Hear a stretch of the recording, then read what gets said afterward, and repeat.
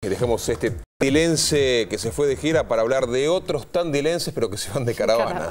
Y vamos a hablar entonces de la banda de rock independiente Caravana, que el año pasado editaron su segundo disco de estudio Pueblo, que cuenta además ya con más de 10 años de trayectoria, fusionando distintos géneros como el reggae, el ska, el guayno, la chacarera, sumeré la tarantela, pero todos ellos con formato rockero. Estarán iniciando este sábado 17 una gira nacional que comenzará en una bellísima ciudad, San Rafael, Mendoza, y que luego lo llevará por distintas provincias como Río Negro, Córdoba, Buenos Aires y otras. Pero nada mejor que para enterarnos de esto que nos lo cuenten ellos.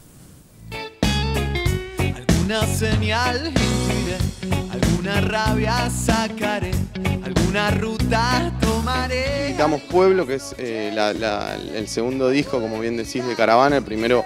se llama Vagamundo, que lo editamos en el año 2010. Y bueno, este año, digamos, con la edición de Pueblo, es una producción independiente, este, recorrimos varios puntos del país, lo estamos tocando, eh, ahora hace poquito eh, con el primer corte del disco que se llama El Viaje hicimos un videoclip, este, eh, una producción muy linda con, gente amiga también trabajando en ese sentido y tocando en todos los lugares donde podemos para presentarlo. Un poco el mensaje y, el, propósito, tanto a nivel estético como ético de la banda, siempre fue eh, transmitir un, mensaje político que tuviera que ver con,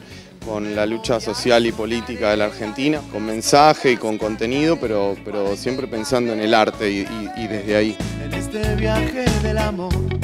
en este viaje del amor.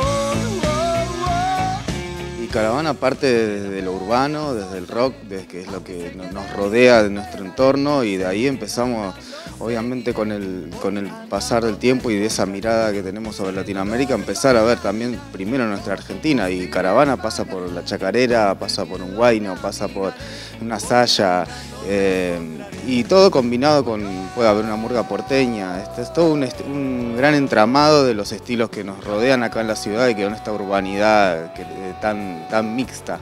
Simplemente eh, la música es la excusa para, para expresarnos y también para viajar y, conocer otras realidades y, ir, y nutrirnos a su vez de, esa, de esas otras realidades nuevas que conocemos.